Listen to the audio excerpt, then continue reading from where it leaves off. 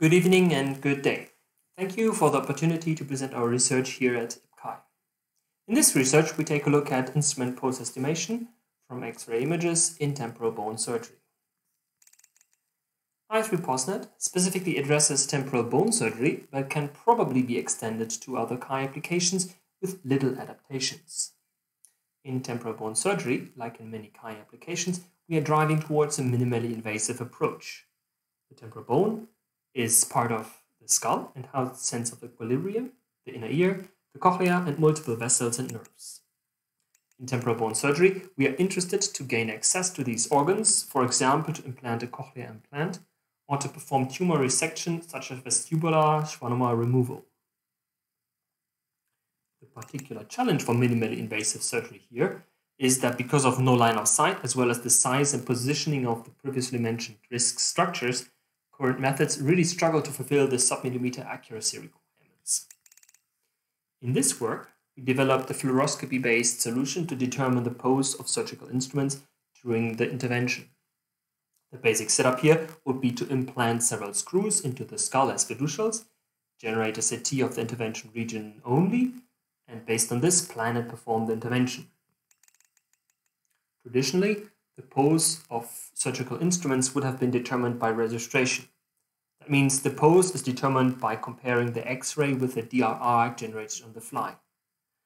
We would then use an optimization loop to iteratively find the pose and projection parameters that maximize the agreement between X-ray and DRR.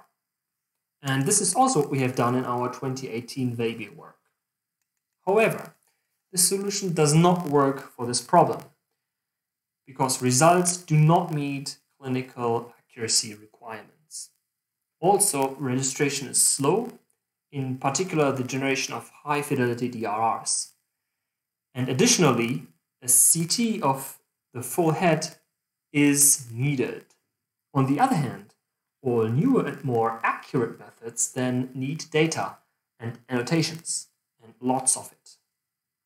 Which brings us to our first contribution three datasets.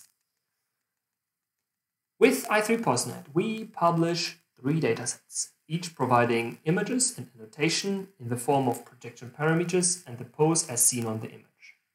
These datasets cover the screw, as used as a fiducial, and two instruments, a robot prototype and a medical drill. Datasets A and B feature synthetic images with the real ground truth annotation whereas dataset C includes images acquired from our in-house C arm and annotated with a custom tool manually. All these datasets come with predefined training, validation, and test splits to ensure comparability of evaluations. During the preparation of this work, we did not find similar open datasets, so we hope that these open datasets will contribute to the transfer and comparison of methods in the future. This with that, we invite you to take a look and download the dataset from the project page.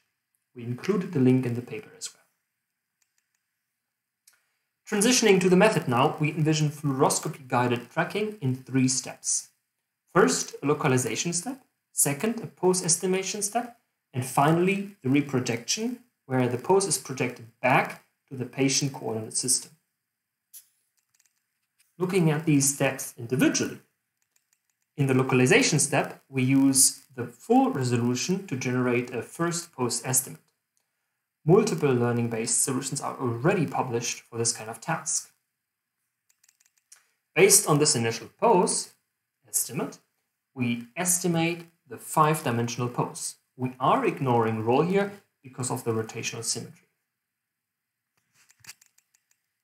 Given the pose of both the instrument and the screw, we project them back into patient coordinates.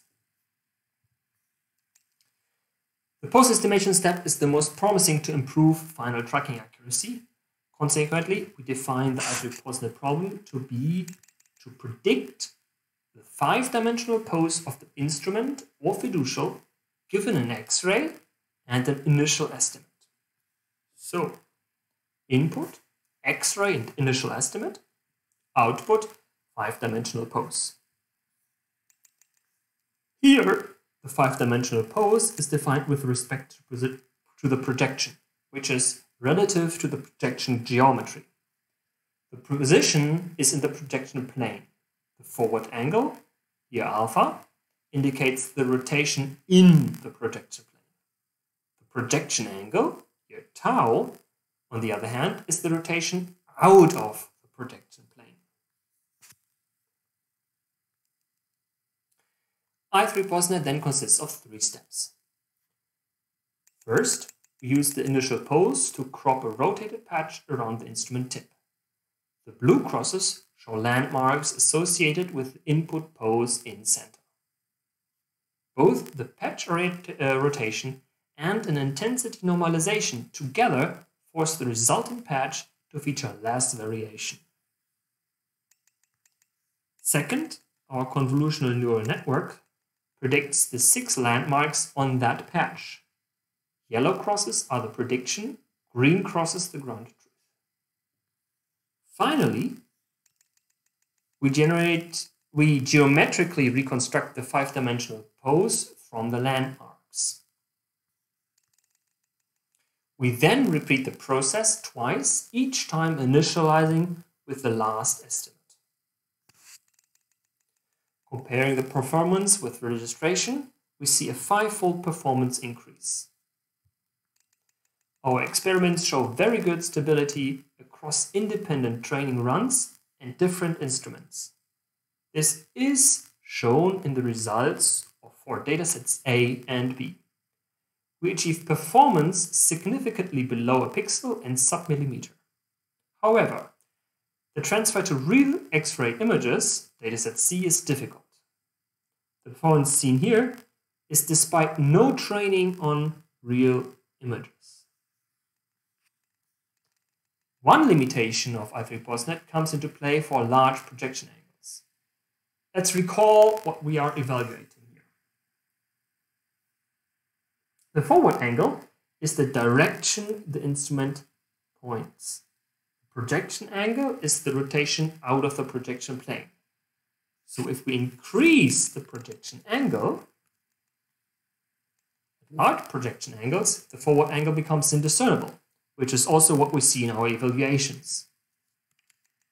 Since this is expected behavior, we excluded cases of projection angle 80 or greater. We observed diminishing return for all error measures with increasing iteration count and leveling out at iteration 3. So that is why we chose three iterations. One interesting design decision was not to predict the angles directly, but predict landmarks instead. Here we compare prediction using landmarks with direct angle prediction. Larger errors in the initial estimate yield larger errors in the output. These observations are with respect to the forward angle alpha.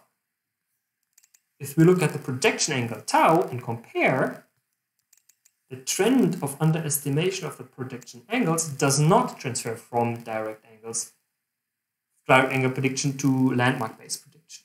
So using a landmarks is superior to direct prediction here. In summary, we present a deep learning-based instrument pose estimation method. With this method and for future comparison, we developed three datasets containing synthetic and real X-ray real X-ray images. We focus on relative tracking accuracy and achieve sub-pixel accuracy. However, the method is limited to sideways projections and loses performance when transferred to real X-rays. In future work, we have already worked on improving the deep learning strategy, which is currently under review. I have added our Twitter handles. We will post news to this and other projects there. We are also working on the extension to multiple overlapping instruments.